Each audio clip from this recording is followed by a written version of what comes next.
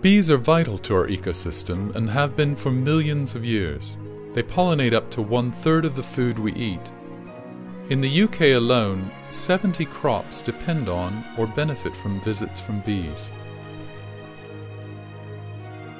The relationship between man and bee has always been strong. As man provides flowers and plants, the honeybee naturally returns the favor through pollination. I retired from work and my wife saw uh, an advert in the paper for a bee course. So I went along to the course and, uh, and that was it really. So it was a revived interest.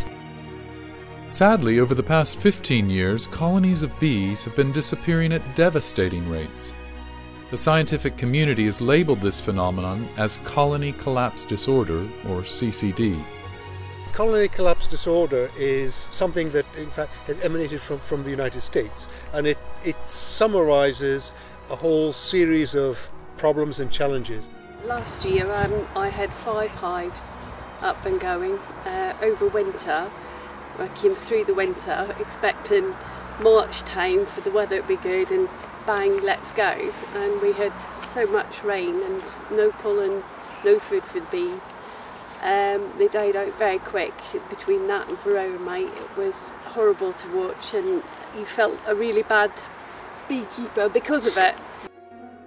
CCD affects bee populations worldwide.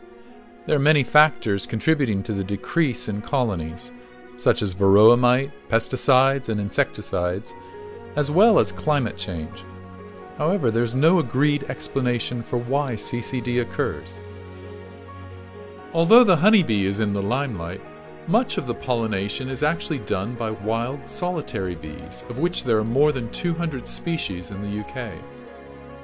Due to excessive use of pesticides and a lack of natural habitat, wild bees were eradicated from the apple and pear orchards of southwest China. In recent years, farmers have been forced to hand pollinate their trees, individually hand pollinating each and every flower. Consequences of losing our wild bee populations in the UK would be environmentally and economically catastrophic. We need all our bees, so what can be done to help them flourish? One of the things that we do is we we go out and we will talk to various groups. And when I talk to the the groups, I always lead through what I do as a beekeeper, and then here's what you can do as local horticultural society, or so on and so on and so on and so on. And uh, there are a number of things that I talk about. First of all, plant bee-friendly crops. Use simple plants not the ones that have been genetically modified to produce double flowers and so on and so on and so on. Because in doing that, you're ending up with plants that are either sterile, that have limited nectar or limited pollen production capacity. So also think about what, what you plant. We all have the opportunity to do something. If you're keen on gardening, there, there are certain flowers that you can grow that are more bee friendly than others.